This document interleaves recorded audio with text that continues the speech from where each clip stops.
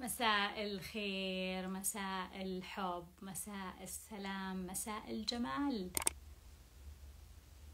مساء التشافي شخباركم شكرا للايكات والقلوب. ما زلنا نتكلم عن تشافي العلاقات. باقي كم يوم؟ باقي كم يوم يا جماعة؟ اليوم ستة وعشرين. باقي كم يوم يخلص الشهر؟ إذا كنت ما حطيت النية حط النية. صحيح ما باقي إلا كم يوم بس يعني كله يشتغل. إذا كنت ما حطيت خلفية الجوال حط خلفية الجوال. الفيلم ناقشنا الفيلم على اليوتيوب. موجود الفيلم في آه، تويتر وتقدر تحضر المناقشة على اليوتيوب.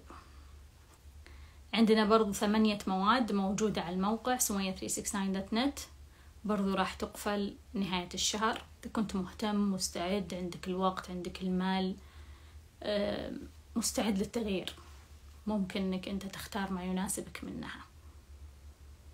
عندنا تشافي العلاقات. إذا كان عندك جروح في العلاقة تبغى تقفل هذا الملف تتشافى منه تساعدك هذه المادة. عندنا غداء منتصف الليل. عندنا عقود الأثير. عندنا العلاقات الخطرة. عندنا آه، خيارات الخلافات. إيش تسوي وقت الخلاف؟ وش الخيار اللي تختاره؟ إيش الخيار الأنسب وقت الخلاف؟ خصوصا عندنا إحنا ضعف في وقت الخلافات. يعني كذا يتغبش علينا وقت الخلافات.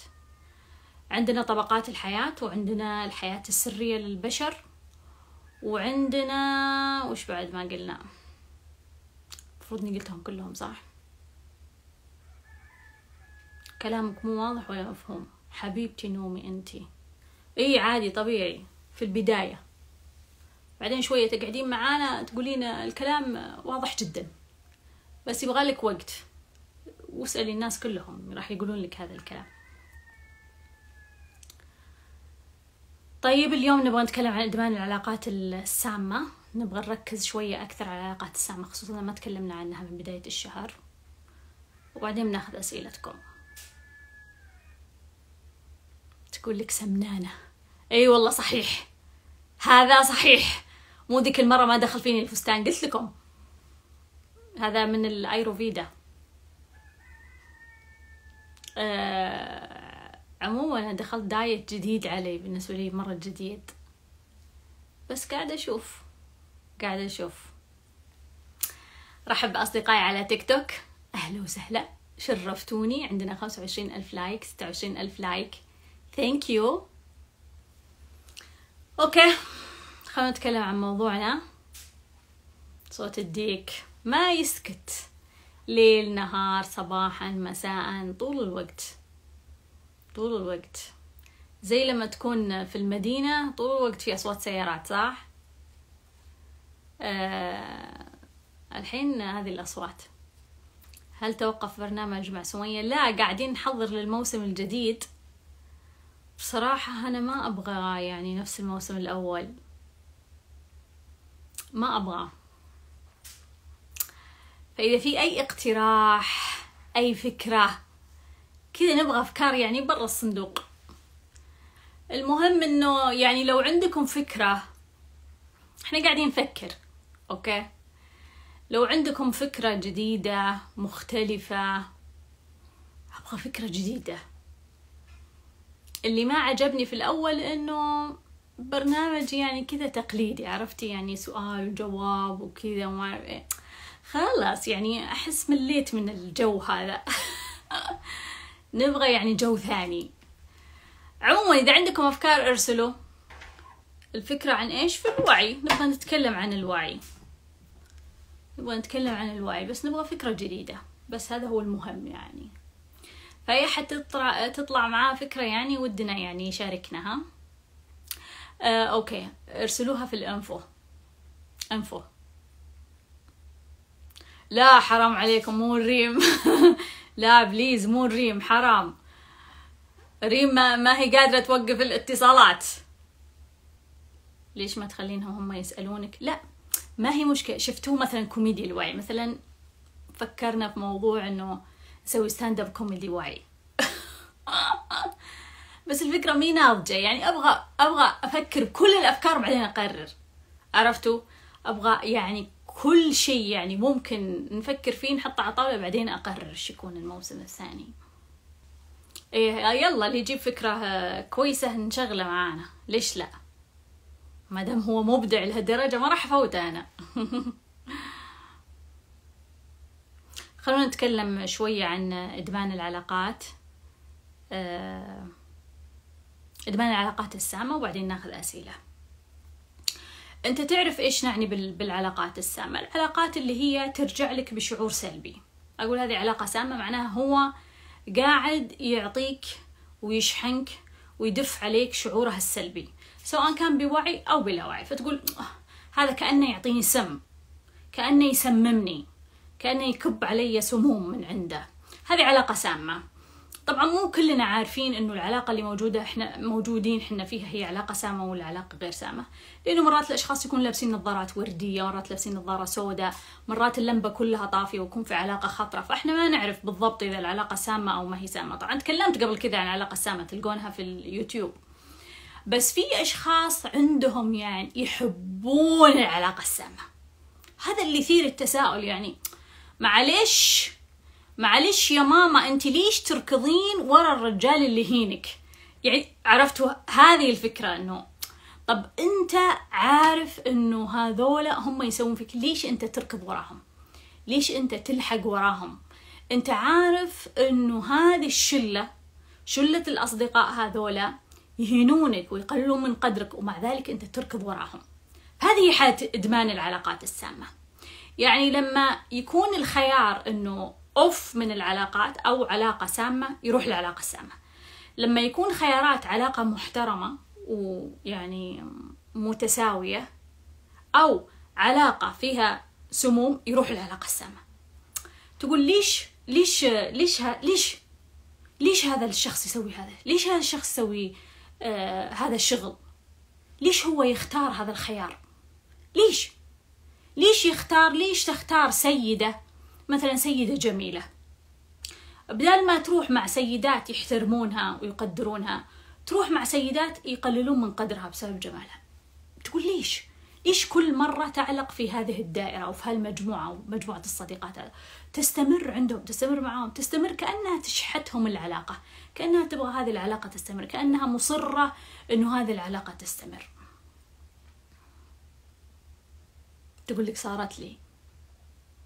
إيه تصير. طبعا هي تبين ما بين الجنسين أكثر وبرضو موجودة ما بين ذات الجنس. يعني تلقون مثلا بنت تعلق في صديقات سامات وهي عارفة إنهم يعرضون هالمواقف thank you يعرفوا يعرضون هالمواقف سيئة يعرضون هالإهانة يغارون منها يحسدونها ما يفرحون بنجاحها.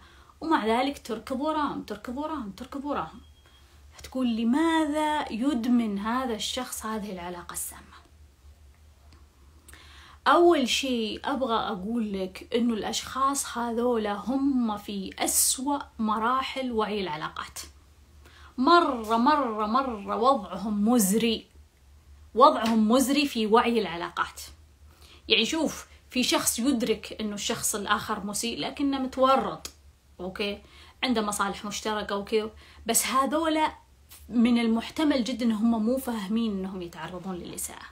مو فاهمين إنه إنه في علاقات جيدة. الإدراك والوعي فضلا عن قدرتك إنك تسوي شيء أو تأخذ موقف ما هي موجودة عندهم. ما يستطيعون يشوفون الموقف كما هو. هم مو شايفين الموقف زي ما إحنا شايفين من برا. هي مو شايفة إنه هي قاعدة تركض ورا الرجال يهينها قاعدة تركض ورا الرجال ما يعطيها وجه. لا هي مو شايفة هذا الموضوع. مو شايفة مشغول. مو شا... مو شايفة اللي إحنا شايفين هي شايفة شيء ثاني.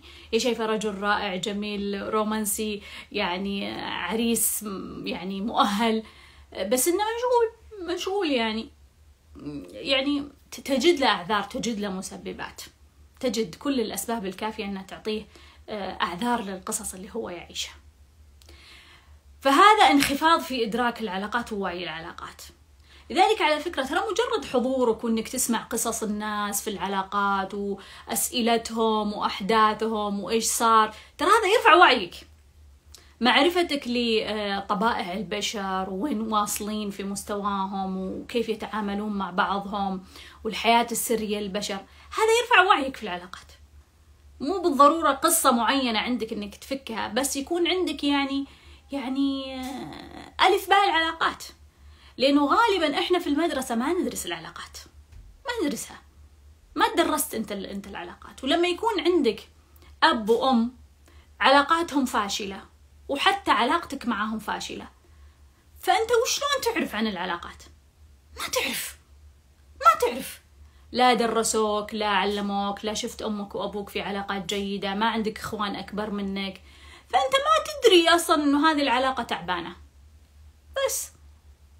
هذه أحد الأسباب أنه الشخص هذا أصلا مو عارف. هو يعني ساذج في العلاقات. ساذج يعني كأنه في أولى ابتدائي في العلاقات أو في الروضة في العلاقات. لسه ما درس وما فهم وما عرف وما في أشخاص يفهمون في العلاقات ما وراء السطور وما هو في الهوامش. وفي أشخاص لا قدامهم الموضوع ولا يفهمون. فهذول الأشخاص اللي يدمنون العلاقات السامة من المحتمل جدا أنهم هم إدراكهم للعلاقات ضعيف هم يحتاجون يحتاجون يقرؤون يفهمون يطورون أنفسهم يحضرون معانا يسمعون أسئلة الناس يحضرون الحياة السرية للبشر. بس كذا يعني يكون عندهم يدخل في وعيهم الواقع. يفهمون الواقع. بس إنهم يفهمون إنه في ناس سيئين في ناس متلاعبين في ناس غشاشين في قراصنة في ناس كويسين في ناس رائعين في بس عشان يفهمون هالتشكيلة حقت البشر. كنت أعتقد إنه السامين هم اللي يحبوني. تقول مريت في المرحلة كنت أعتقد السامين هم اللي يحبوني. إيه تصير. خليني أقول لك أحد برضو أحد الأسباب اللي تخلي الشخص يدمن العلاقات السامة. إنه هو نشأ في بيئة كل العلاقات فيها سامة. وبالتالي هو يعتقد إنه هو كذا التعامل لما أنت تكون قريب من الأشخاص. والأشخاص المحترمين هذول عايشين في فقاعة أو كذبة أو هم لسه ما مانوا على بعض. ثانك يو ألماس. لسه ما يعني ما صاروا يمونون على بعض. فهو كذا يعتقد إنه لأنه هو شاف أمه تعامل بطريقة سيئة شاف أبوه يتعامل مع أمه بطريقة سيئة شاف إخوانه يتعاملون بطريقة سيئة. فهو يعتقد أنه هذه هي العلاقات الصالحة. الثانيين اللي نتعامل باحترام وتقدير هذولا يمثلون. هذولا آه، مو بصادقين. هذولا ما يمونون على بعض. وبسبب هذا كله بسبب البرمجة اللي هو تربى عليها. بسبب القصة السيستم اللي هو دخل وتورط فيه. ذلك هو عالق في هال هالنموذج إنه هذا النموذج هو الصح للعلاقة. يعني مثلا تلقى آه اثنين يتكلمون مع بعض تقول لها يا كلبة أنت يا حيوانة أنت يا ح... تقول هي ليش تسبها كذا؟ تقول يعني من الحب هذا. طيب وهذولاك؟ لا هذولاك ما يمونون على بعض. أو ماي جاد آه هو يتأخر علي لأنه يمون علي. يسحب علي لأنه يمون علي كذا يعني. كذا يفهمونها. إنه إحنا يعني deep في العلاقة إنه إحنا مرة نعرف بعض وعميقين مع بعض ويعني تكشفنا البعض لدرجة إنه وصلنا هالمستوى من السموم. و that's okay. هذا هذا يدل على العمق. يدل على جودة العلاقة. هذا في مخهم في تصورهم. كله system قديم جاء من الطفولة. أي موجودة بكثرة. أيه تقول يزعلون إذا قلت لهم احترمي نفسك. طبعا. هم كذا يفسرون العلاقة الصحيحة ويفسرون العلاقة الجميلة. فيستمرون موجودين في علاقة تعبانة لأنه هذا اعتقادهم هذا تصورهم. مو ما يعرفوا بس هذا تصورهم ها يعتبرونها هذه علاقة صحيحة. هذه علاقة يعني جيدة وعميقة. أيضا أحد الأسباب اللي تخلي الشخص يدخل في إدمان العلاقات السامة هو الموضوع اللي تكلمنا عنه اللي هي متلازمة الخوف من الهجر. إنه الشخص وإذا كنت ما حضرتها تقدر تحضرها موجودة في اليوتيوب وموجودة في حسابي على إنستغرام. إنه الشخص يعني خايف من قصة الهجر. thank you خاتم المال آه، هو خايف من الهجر لدرجة إنه هو يقبل بظرف كثير رديء. يقبل. يقبل إنه هو يعيش يعني مواقف كثيرة وهو يعرف هذا. هذا يعرف إن الواقع سيء ويعرف إن العلاقة سيئة ويعرف إن العلاقة سامة. لكن بالنسبة له ترك العلاقة أكثر ألما من السم اللي جاي منها. ثانك يو هذه المقارنة. لما يقول أترك ولا أبقى في العلاقة السامة يقول لك لا أترك مرة كبيرة مرة تخوف مرة توجع. فهو خايف مرة أنه يترك فيختار أنه يستمر في علاقة سامة. ويدخل يستمر إدمان في هذه العلاقة السامة. حتى لو الشخص قال له باي باي يقول لا تكفى خلاص. إن شاء الله تتصلح الأمور تضبط. هو يقول تتصلح الأمور تتضبط الأمور وهكذا. حبيبتي روان تقول كنت هيك.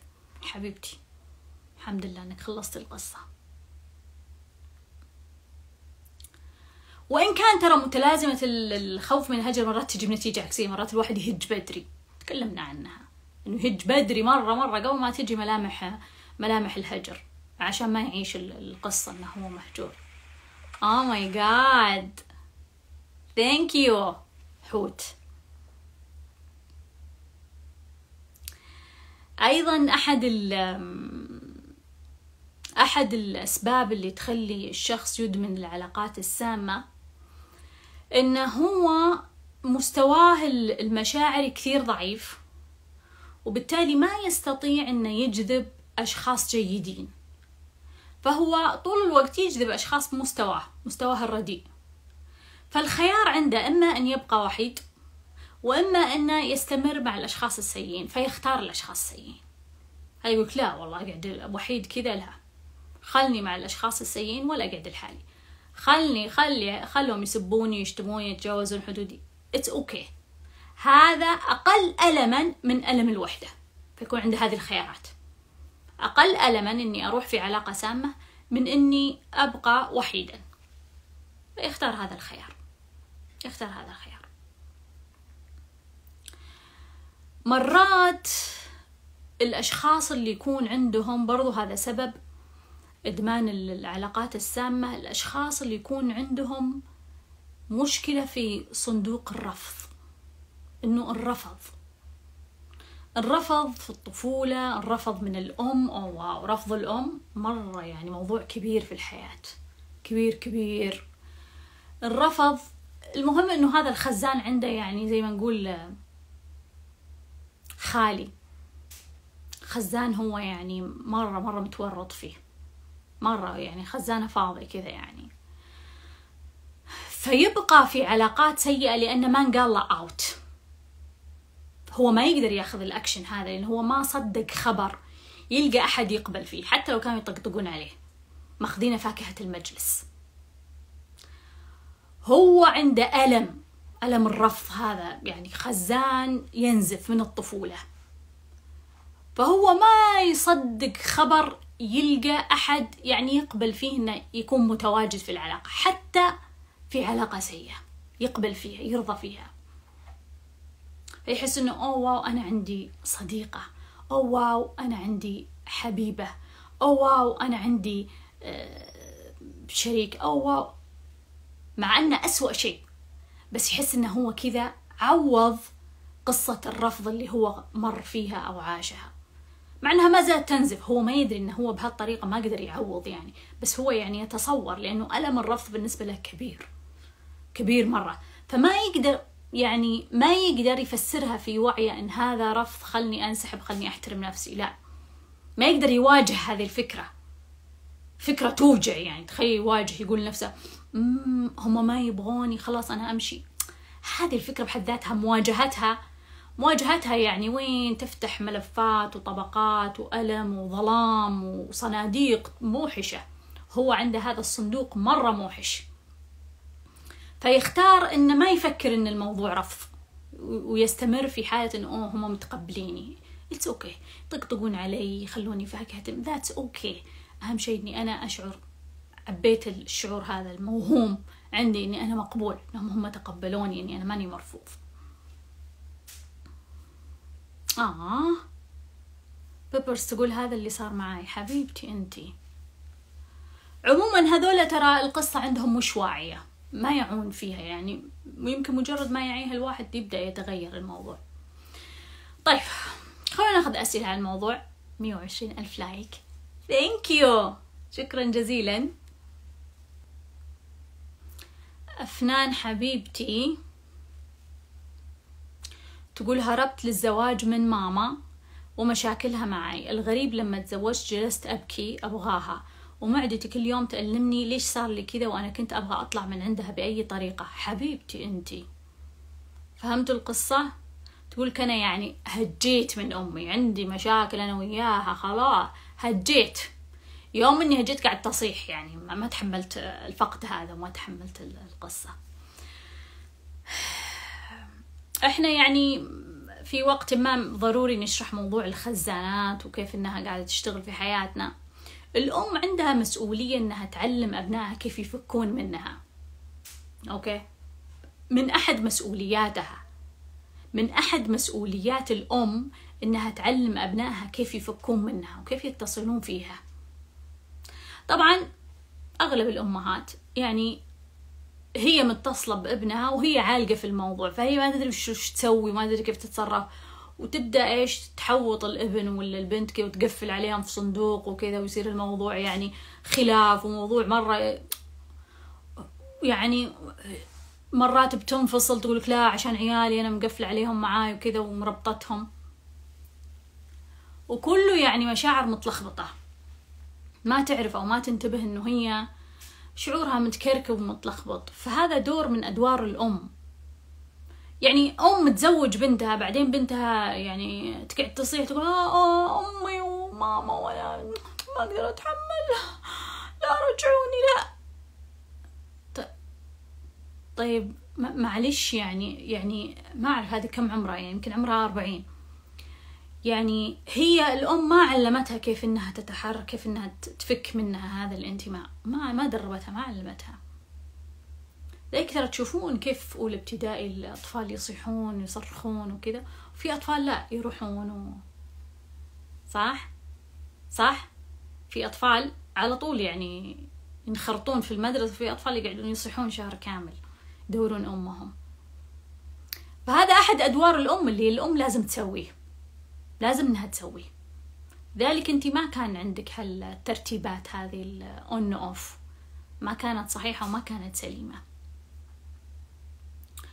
أه ومشيتي تعتقدين إن عندك القوة الكافية إنك انت يعني تنفصلين عنها بس تفاجأتي يوم انك رحتي إنك انت ما قدرتي ما قدرتي يعني تدبرين نفسك. الأم مدرسة بالضبط. عموما راح نتكلم لاحقا بالخزانات وكيف إنها تأثر علينا هل ممكن تكون علاقتنا مع ذواتنا وأنفسنا سامة؟ كيف أشافي علاقتي بنفسي؟ إيه ممكن بس طبعا حنا يعني هذا الشهر ما نتكلم عن علاقتنا مع ذواتنا وإن كان في العمق ما في حد برا أوكي؟ في العمق وفي الصورة الكبيرة ما حد برا أنت تتعامل مع نفسك والكاركترات اللي قدامك هي قصص من خلالها تطور نفسك.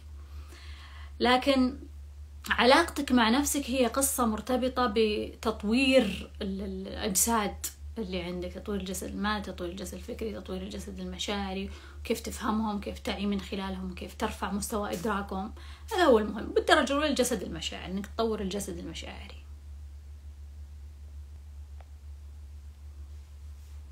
Thank you. قطار.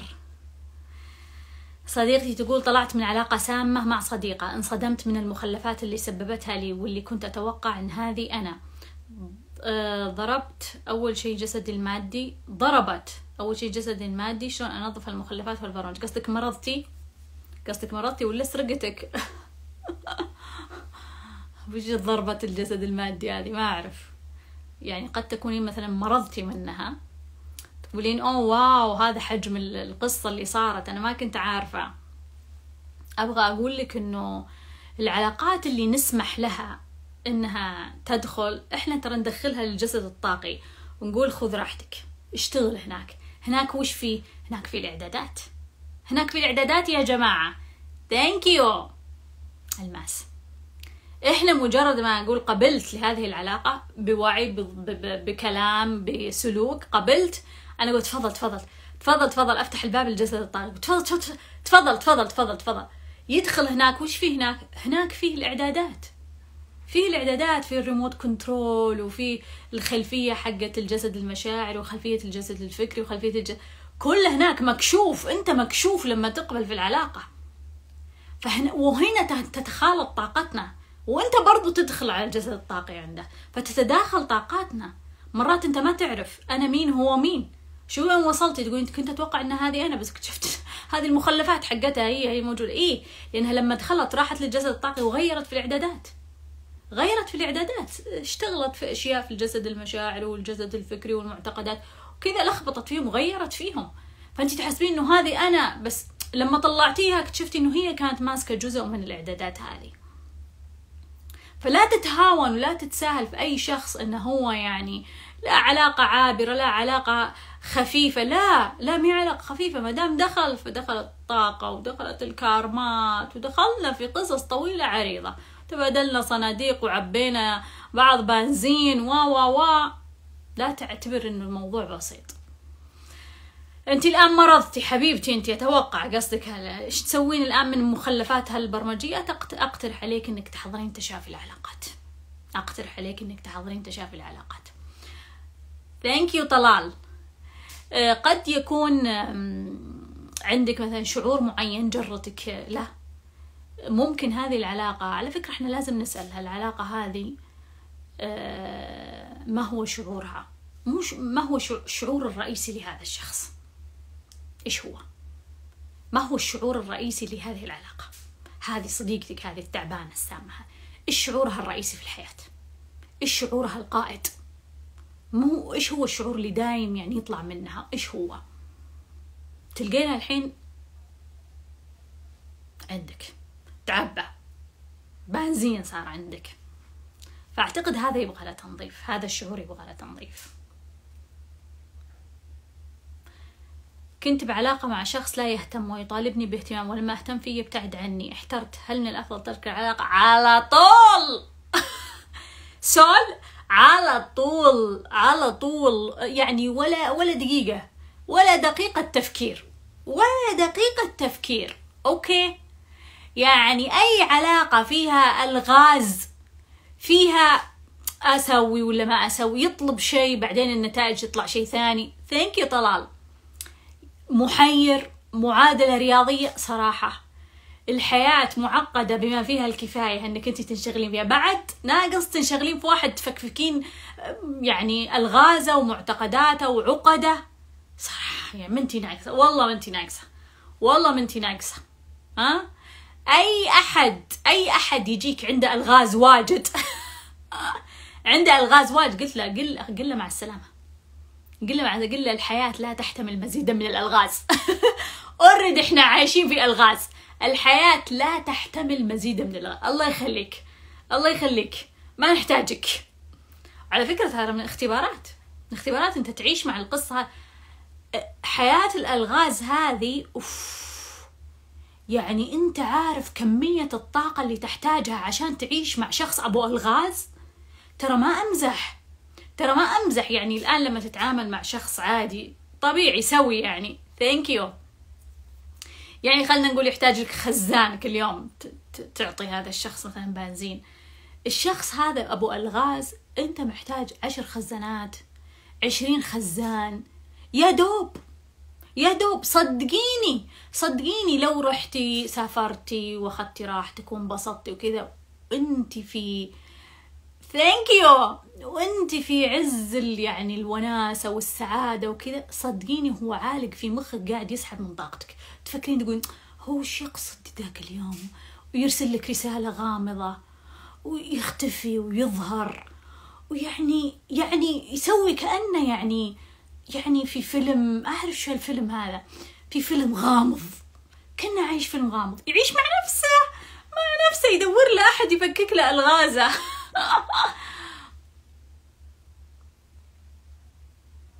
قبل فترة سمعت عن الشخص النرجسي وفيه مواصفات حسيتها فيني بس يوم سمعت عنه أكثر تراجعت وأحس ضايعة. قصدك أنت محتارة أنت نرجسية ولا ما أنت نرجسية؟ قد تكوني نرجسية. إحنا تكلمنا عن العلاقة مع النرجسي تقدرين تحضرين المادة موجودة على اليوتيوب موجودة في الإنستغرام. وقلنا إنه النرجسي يعترف بالنرجسية وهو فخور إنه هو نرجسي. شوف في يعني أسباب منطقية للقصة. فقد يكون فعلا إنه أنت يعني نرجسية. ثانك يو تعرف. إذا عندي صفات سامة وش أسوي؟ والله صراحة أنا يعني أحييك. أحييك على هذه الاعتراف الله الواحد يقول أنا نصاب أنا كذاب أنا قرصان أنا مخادع. أنا والله غشيت الناس أنا خدعهم مرة يعني مرة أحترم هذا الشخص. أقول الله يعني يعني الله ينور دربه. الله ينور دربه اللي وصل هذه المرحلة. مرحلة أنه هو يريد أن يتخلى عن تلك النسخة. يريد أن ينظف القصة يرمي كل المخلفات اللي هو تورط فيها. الله يوقف قدام المراية ويعترف يعترف ويطيح الحمل. فأنا أقول شكرا يعني على هذا الاعتراف إني قلتي إنه عندي صفات سامة محتاجة تنظفينها. هاي صفات سامة جت من مشاعر سلبية محتاجة تشتغلين على الجسد المشاعري. في ناس تتكلم من وراي وباسمي بين الناس وتكذب وتسبب مشاكل. كيف الحل بليز؟ تتكلم من وراي شيء وباسمي يعني يقولون فلانة قالت فلانة قالت كذا وكذا.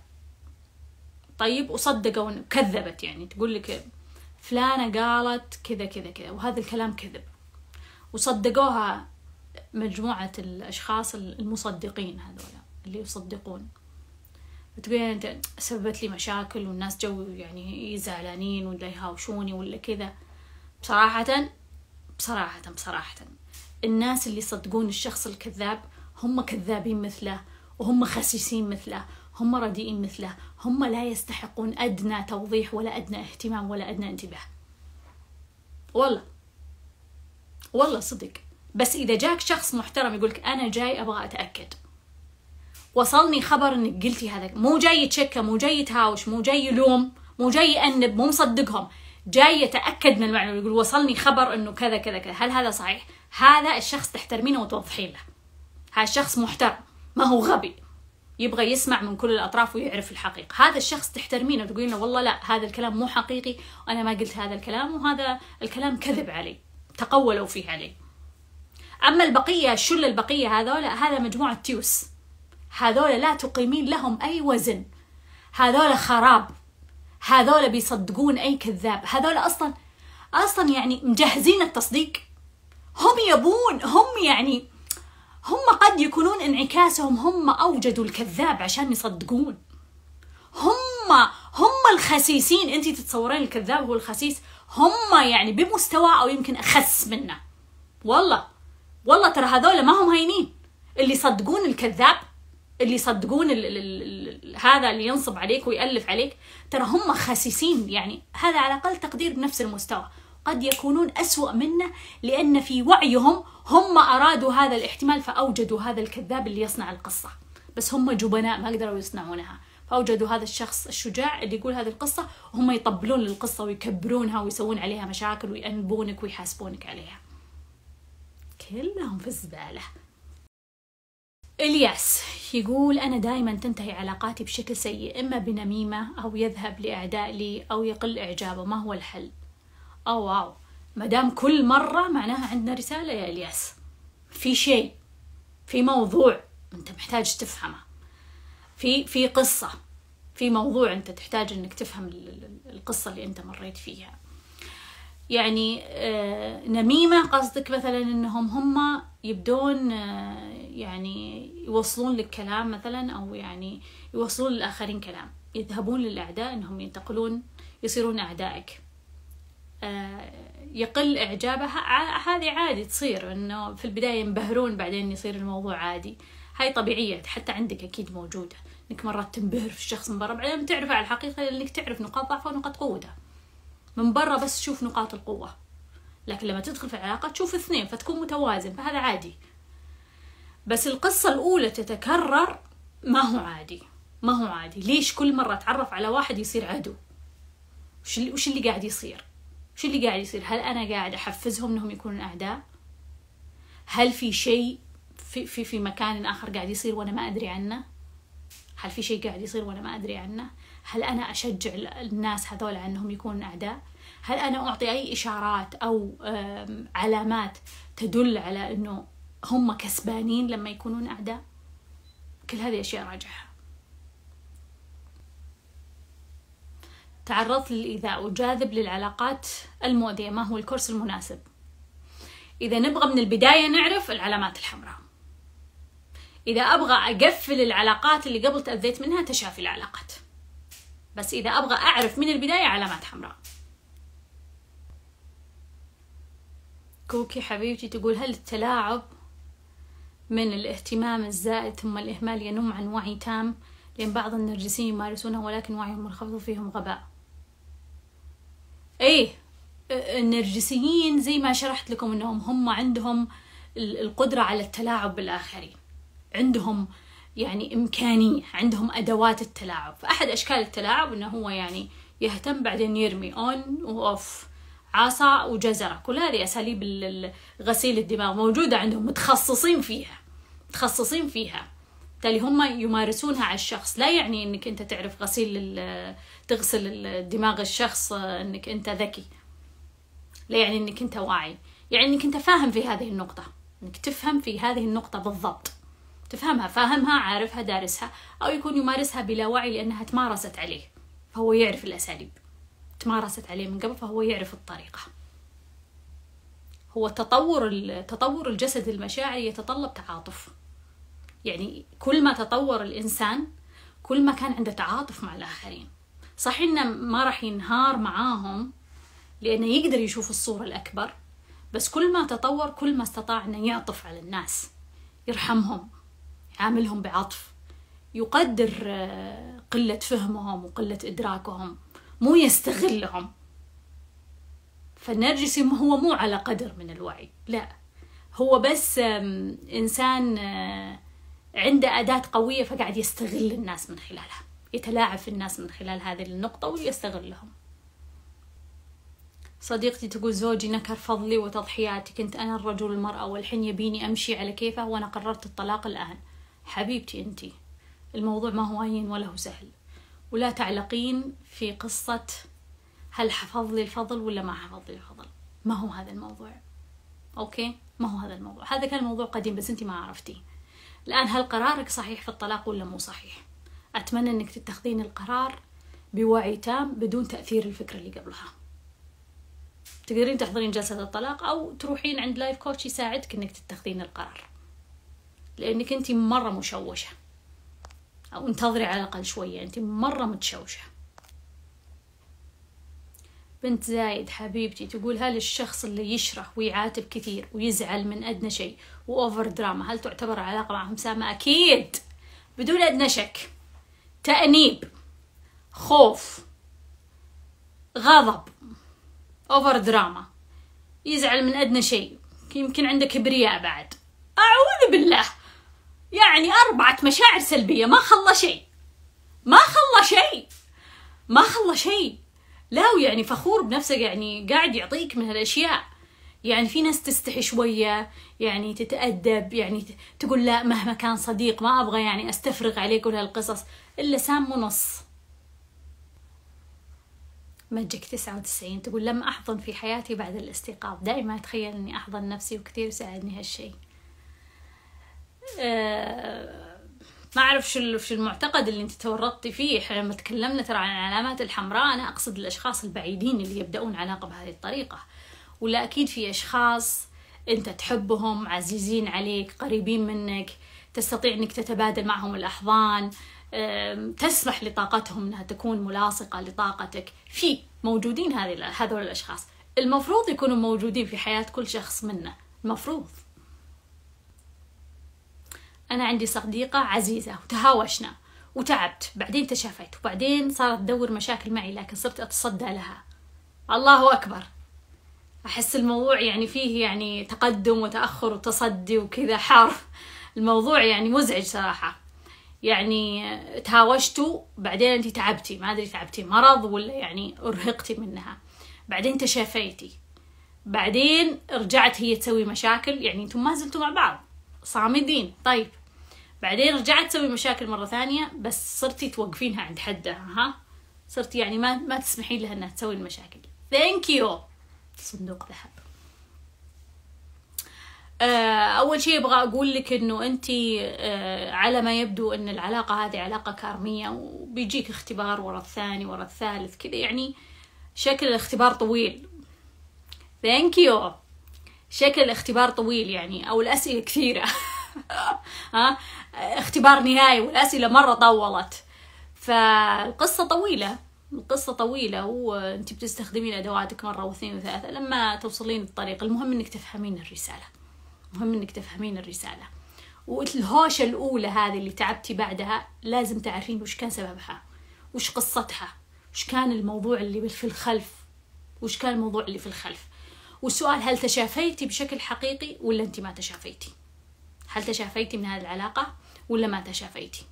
يعني ممكن ما تشافيتي بس انت تتصورين هذا الشيء. يعني هدأت شعورك بس ما تشافيتي من هذه العلاقة. ممكن تحضرين تشافي العلاقات يساعدك. هل تكون علاقة سامة بين طرفين لهم فارق سن كبير؟ إيه عادي يصير. أعرف شخص لمدة ثلاث سنوات قلت له تقدم لي قال أمي رافضة الفكرة. وش أسوي؟ oh my God oh my God لو إنه في الصيف مسحت فيه البلاط. بس يعني أحس طاقة مهدرة الآن. حطيه في سلة المهملات. على طول!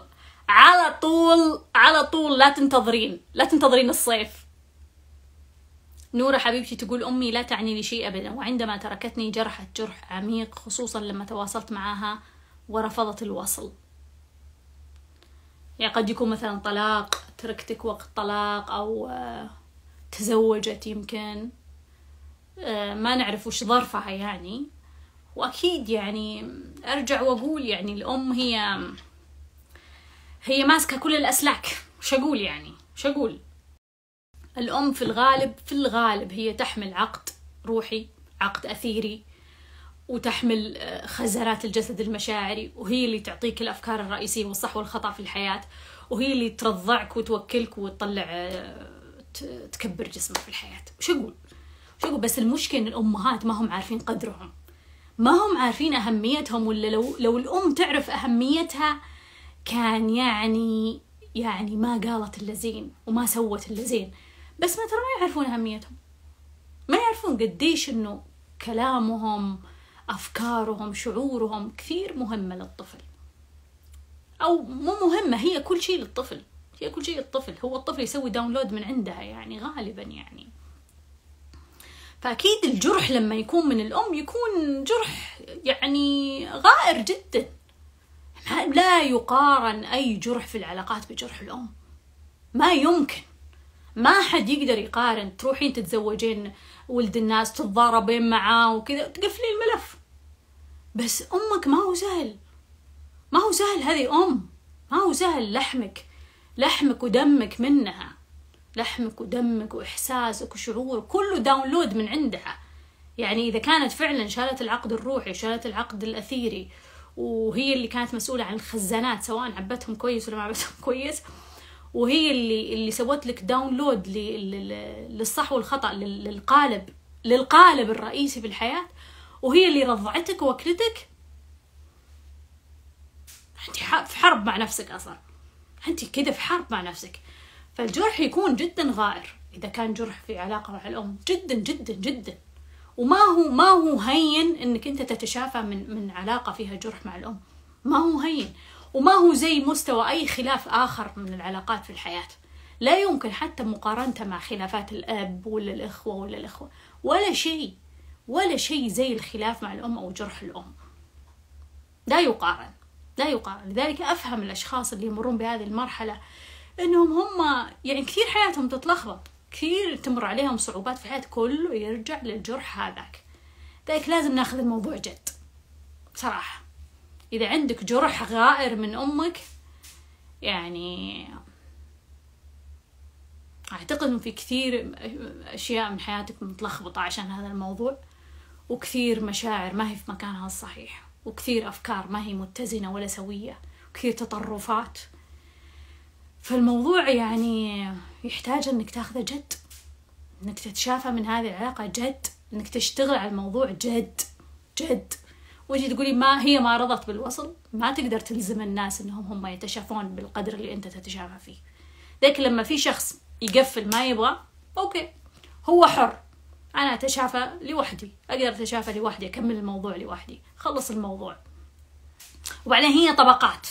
يعني أنت تشافيتي لوحدك صحيح في شيء ما زال موجود ما ما خلص. الملف ما قفل. بس أنا تشافيت من العلاقه بس الملف لسه ما قفل.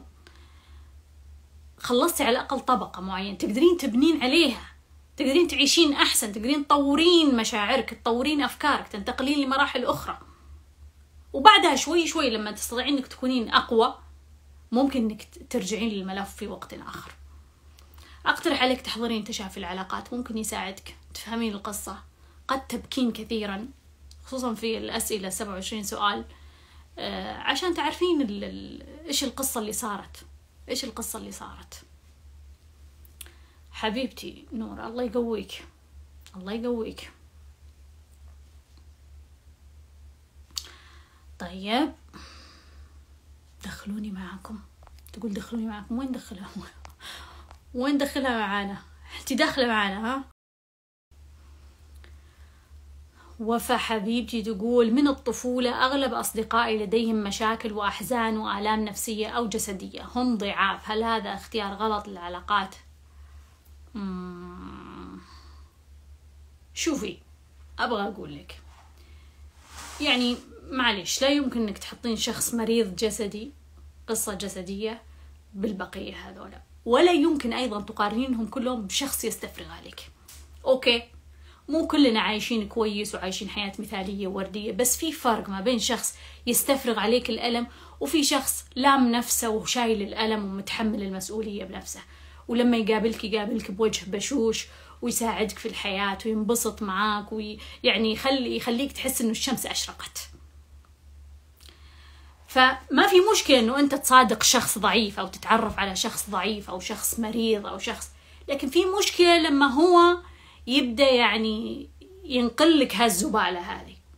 فهو ما شال المسؤولية ما تحمل المسؤولية قاعد يعني يحطها على شخص. هذا شيء. الشيء الثاني فيما يتعلق بظهور الأشخاص المرضى في حياتك هذه إشارة إلى روح مشافية. إذا في كل مرة يطلع لك مرضى سواء نفسيين أو جسديين إذا في كل مرة يطلع لك مرضى فهذه إشارة روح مشافية. ما تقدر أنت تهج من الموضوع. ما تقدر تهج. ما تقدر تهج من الموضوع أنت تقول ما أبغى أتعرف عليه هذا مريض ماشي أوكي مرة ثانية ما أبغى أتعرف عليه مريض، مرة ثالثة ما أبغى أتعرف عليه، مع إن المرض مش من من العلامات الحمراء ولا المفروض إنك تأخذها بهالطريقة، بكرة يمرض أخوك. ما في أحد في في في البلد إلا أنت، كلهم مسافرين في الصيف. مين يروح معاه المستشفى؟ أنت. فهمت ولا لسه ما فهمت؟ فالأشخاص اللي يحملون الروح المشافية واضح ترى بالنسبة لهم. ما يقدرون يهربون. أنت ما تقدر تهرب من الرسالة عموما. بس المهم إنك تفهمها إنك تنقلها لحالة الوعي عشان ما تستمر يعني. بدال ما تسويها يعني بنسبة سبعين بالمية سوها مية بالمية. بدال ما أنت يعني تكونين بس مشافية لإخوانك وخواتك والناس المقربة. أي شخص مريض تتعرفين عليه قدم الموضوع. أنت عندك خزان مليان وعندك قوة كافية وعندك طاقة كافية لهذا الشيء. طيب. ناخذ آخر سؤال. نبغى سؤال خنفشاري. سؤال خنفشاري. تقول لك هالشهر قالت لي أمي إنها تكرهني رغم إني أنا اللي أصرف عليها بكيت بحرقة لكن مو عارفة إيش أسوي بعد. أفهم شعورك. مو سهل. تطلع كلمة زي هذه من الأم مو سهل. مو هين الموضوع. حبيبتي انتي تحتاجين تراجعين وش انتي قاعدة تقدمين وش انتي قاعدة تاخذين. احضري تشافي العلاقات. شوفوا شوفوا شوفوا شوفوا القصة. نبغى نختم بهذا السؤال. آه تقول لك يوم وضعت نية الروحانية. أوكي. في رمضان ها؟ رحت المكة وقابلت شخص واصل. هذه المقدمة. لكن نرجسي. والحين نبي أتخلص منه. أتخلص من العلاقة لكن خايفة من الانتقام. وش الرسالة الموجهة لي من هذا الشخص؟ خصوصا أنه أنا تواجد في حياتي لما طليقي طلب نرجع. هل هذه رسالة إني ما أرجع لطليقي؟ لا مو رسالة إنك ما ترجعين لطليقك خصوصا إنك اكتشفتي الآن إنه هو نرجسي وإنه هو ما يصلح. أوكي أبغى أكد على كلامك إنه النرجسي آه، حقير. أكد على القصة يعني وأكد إنه هو لا يقبل الرفض وإنه هو ممكن ينتقم. وأبغى أقول معلش يعني شوية معلش نية الروحانية لسه ها؟ لسه رمضان. الآن خلال هذه الفترة يعني يعني هو قدر يستوعب هذه الشخصية ويفهمك ويفهم أسرارك وقصصك وأصلك وفصلك لدرجة إنه هو مسك كل الأدوات؟ ها؟ يعني خلال هذا الوقت القصير أنت يعني عطيتيه يعني print كامل على طول؟ عطيتيه print كامل يعني؟ أنت خايفة من الانتقام معناها هو عنده يعني print. هو عنده تقرير كامل عن حياتك. عارف يعني البير وغطاه. متى مدانة في رمضان القصة. ما ما القصة؟ ليش كذا؟ لماذا يا جماعة؟ لماذا؟ قلت لكم صار لي كم سنة وأنا أكرر عليكم وأقول لكم يا جماعة أهدى شوية. في بداية العلاقة أهدى شوية أهدى شوية. مهما كان حتى لو كان صديق حتى لو كانت علاقة متوقع فيها الزواج شوية اضغطوا فرامل أصلا إذا الشخص الثاني أسرع إذا قام يعني يسرع في العلاقة لازم تخاف. لازم تقول هذا هذا شيء مو طبيعي وين رايح هذا؟ فمو معقول انت ما صار لنا إحنا إحنا إحنا كملنا شهرين ما كملنا شهرين. مو معقولة يعني انت انت يعني يستطيع إنه ينتقم منك بهذه السرعة ويعني إنه عرف شعورك وعرف كيف بيتلاعب هذا الشعور وعرف حياتك وأسرارك وكل هالقصص. هذا شيء لك انت بس ما زال هو بينتقم ما زال. ما زالت القصة انه هو بينتقم. شوفي أنا أقترح إنه مثل هذا الخسيس إنك انت يعني آه، تتعاملين معاه بطريقة تطلعين منها سالمة لأنها من العلاقات الخطرة. من العلاقات الخطرة. يعني شوفي لك قصة حقيقية في الحياة وكبريها حطيها هي في, في الواجهة. يعني إذا ذاك اليوم مرضتي مثلا قولي خلاص مريضة و رحتي المستشفى تقولي أنا في المستشفى خلاص مريضة وكذا. وخلاص. قفلي جوالاتك وكذا. خليه يقول ماتت. راحت فيها كذا يعني. يعني أقصد اوجدي لك قصة من القصص الموجودة عندك. عشان ما تخلي الموضوع والله باي باي أنا صراحة ما أقتنع في هذه العلاقة. وأحس إنك يعني شخص نرجسي ومع السلامة. لا طبعا بيقلب الدنيا عليك. يلا. رسالة لنا جميعا. لا تستعجلون. لا تستعجلوا ما أعرف ليش. لما نوصل الوقت المناسب اللي المفروض إنه يتقدم للزواج تأخذ راحاتها تهدي الموضوع تقول it's okay قاعد يدور وظيفة قاعد يقنع أمه قاعد يقنع القبيلة. قاعد يقنع القبيلة. عطوه وقت. عطوه وقت. توها متعرفه عليه ادعس. أسرع ما عندها. تقرير ورا تقرير ورا تقرير ورا تقرير. طب اصبري يمكن ما يصلح. اصبري يمكن مو مناسب. سواء كان يعني علاقة عاطفية ولا ولا صداقة فإحنا إيش فينا كذا يعني ندعس في الوقت الغلط ونضغط بريك في الوقت المفروض ان ندعس فيه عندي صديقة ما تبادر أو بمعنى ما ترسل أو تسلم علي إلا نادر يعني باردة هل أستمر في العلاقة؟ لا ما تبغاك ما فهمتي الموضوع؟ ما فهمتي الموضوع؟ إذا أحد يرسل يسلم علي وأنا أرد بعدين ما عاد أسلم عليه ما أبغى بكل بساطة ما أبغى. إذا هو مهتم راح يبذل جهد للعلاقة. راح يبذل جهد للعلاقة. هذا الشخص لا يريد أن يبذل أي جهد للعلاقة ولا يريد العلاقة لكنه مؤدب. مؤدب ما يبغى يقول لك يا عمي ما يا عمي مع السلامة ولا بلوك. مؤدب. تقول يعني أنت أنت تفهمها فافهمها. افهم الموضوع. 304 ألف like thank you شكرا جزيلا. طولت عليكم يا جماعة. نشوفكم إن شاء الله بكرة. تصبحون على حب.